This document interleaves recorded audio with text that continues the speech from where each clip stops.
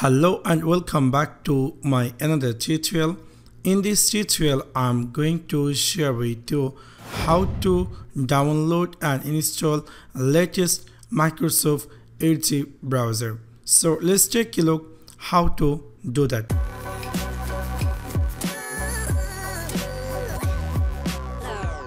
In order to do that i'm going to open my any browser.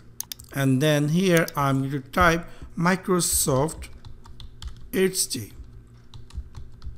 and then you see I got Microsoft Edge and here you can see there is a download new Microsoft Edge browser which is direct uh, www.microsoft so this is Microsoft own website. So we're going to open it and then you'll see there will be option to introduce the new Microsoft Edge. So you're going to click on download and it's going to give you a skin like this simply click here accept and download so it's going to be automatically download in your PC. You can see this is now going to download which is around uh, uh, 2 MB less than 2 MB. So you can see already this software is downloaded. So I'm going to run over it. I'm going to open that uh, setup file so you can see it's going to be installing. It will take little time to uh, install and after that we'll see my uh, windows going to be see the latest uh, microsoft edge. You can see this is the uh, previous microsoft edge icon and hopefully uh, within few seconds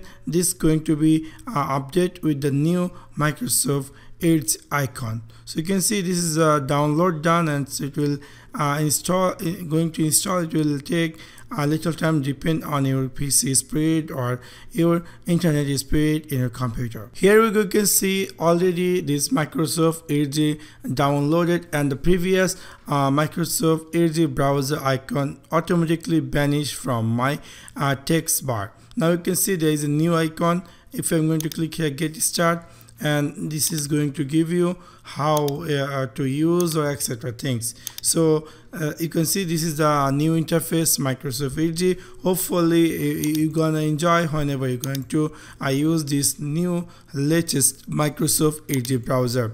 Now you can see this is a new icon and you can see there is a new icon also added my text bar. So this is how you can easily update or download the latest Microsoft Edge browser in your PC. So that's for now. Thanks for watching my video. See you next one. Peace.